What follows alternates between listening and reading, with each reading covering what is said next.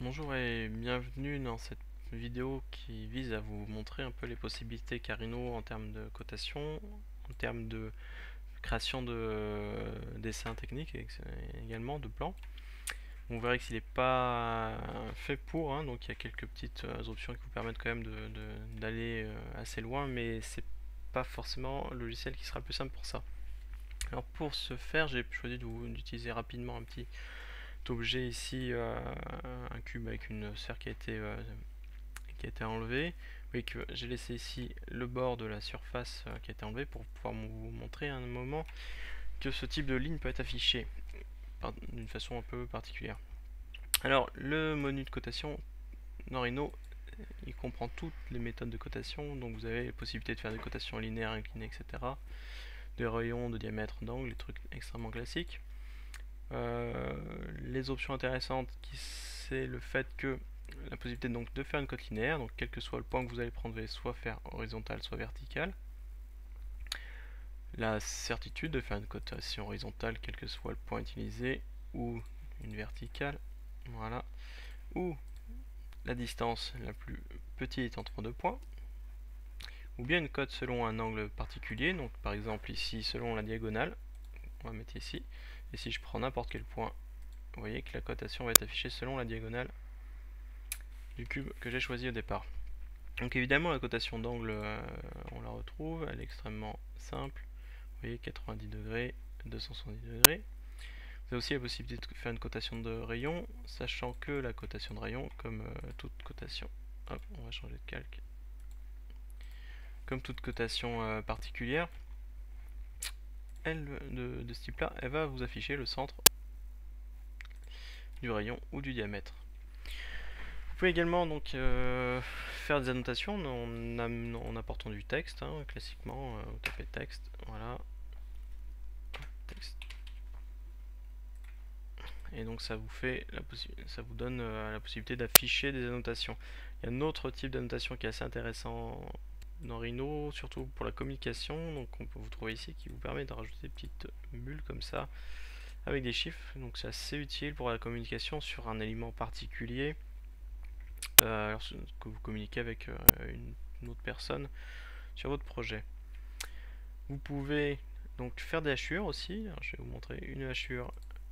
Par contre, elle ne fonctionne que sur euh, un profil fermé. Si le profil ici est ouvert, donc ça vous avez différents éléments, je sélectionne ça, la hachure ne fonctionne pas. Si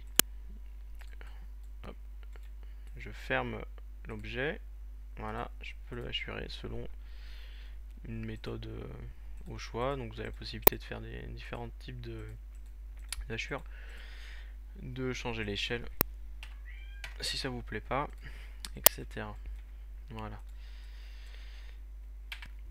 Vous pouvez également changer le type de ligne. Donc euh, ça par contre ce que je vous conseille c'est d'utiliser un, système de calque. C'est euh, ce qui est le plus pratique. Voilà. Vous mettez un calque ici avec un type de ligne particulier. On va mettre par exemple ligne de centre.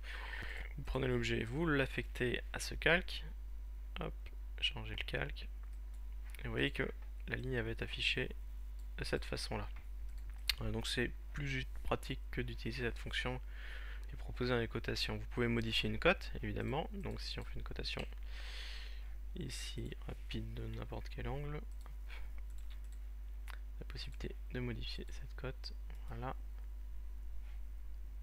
Et donc de changer le type euh, d'élément qu'il y a, etc.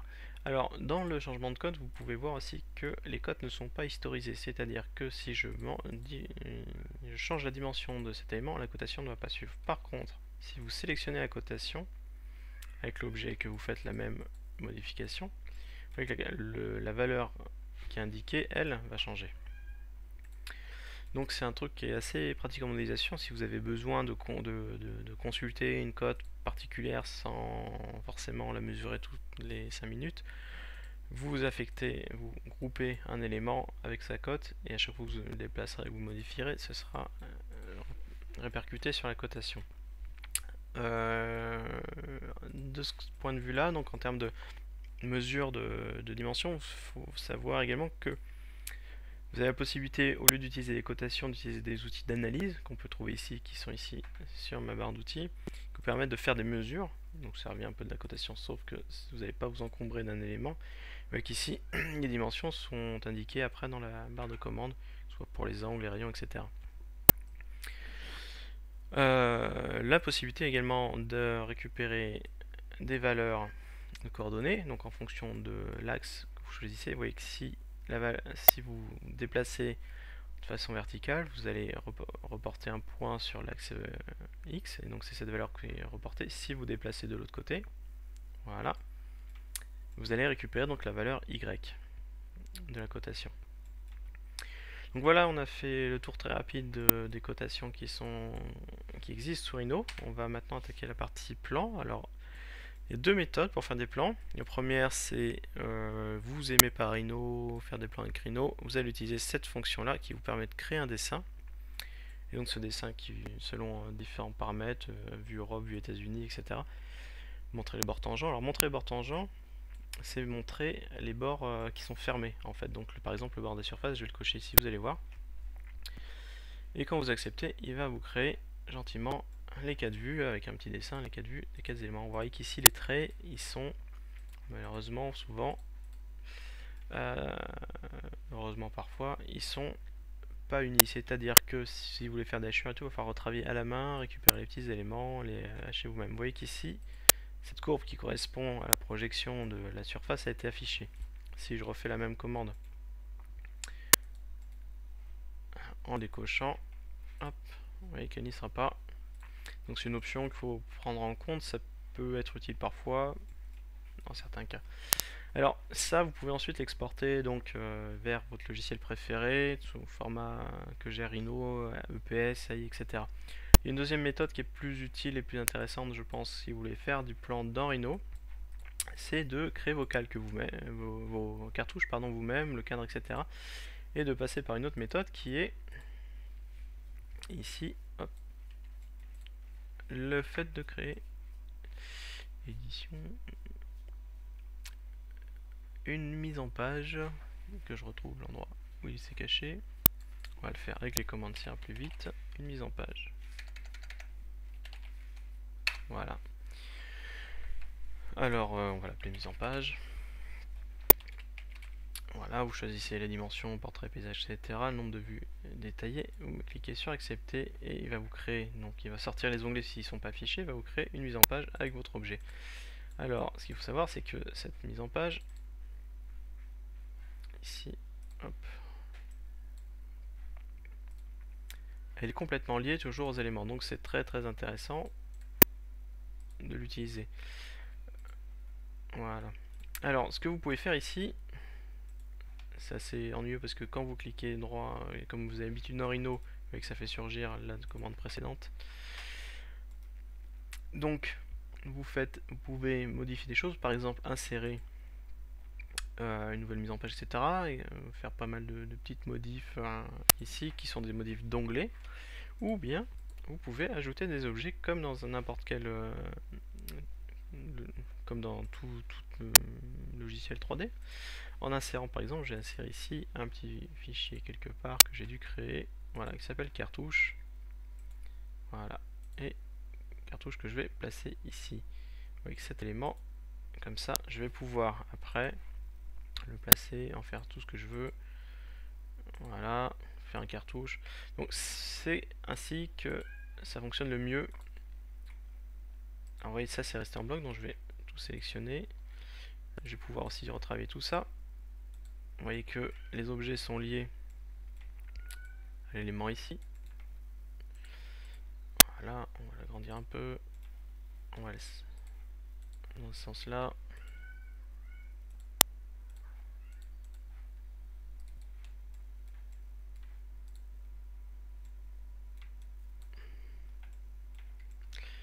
Voilà. Donc ça c'est, euh, une fois qu'on a un peu regardé comment ça fonctionnait, la meilleure méthode selon moi pour pouvoir créer une mise en page correcte d'un plan. Sachant que là je l'ai fait à l'arrache, mais si on, le fait en prenant bien la peine auparavant de centrer tous les objets. Voilà. et qu'on recrée une mise en page. Nouvelle mise en page. Page 2. Vous voyez qu'ici les objets vont être beaucoup mieux centrés qu'ils ne le sont sur la première mise en page. Vous l'avez vu, n'ont pas forcément été bien définis au départ. Donc c'est ici que vous pouvez ensuite ajouter un texte, etc. Comme je vous l'ai montré d'ailleurs par ailleurs tout à l'heure avec le euh, système de cotation. Et euh, changer également dans les options la couleur du fond parce que le fond gris c'est pas forcément le meilleur pour l'impression dans les apparences les couleurs. Le papier vous passez blanc rouge bleu comme vous préférez. Voilà. Donc voilà la meilleure méthode selon moi pour euh, créer un plan euh, classique euh, c'est de faire toutes les cotations selon les vues ensuite d'utiliser cette fonction de mise en page et de rajouter un cartouche etc un cadre comme vous préférez et le remplir par la suite soit directement soit depuis un autre logiciel. Donc il y a d'autres logiciels qui peuvent ensuite ouvrir ce que vous exportez d'ici parce que ça reste un tracé.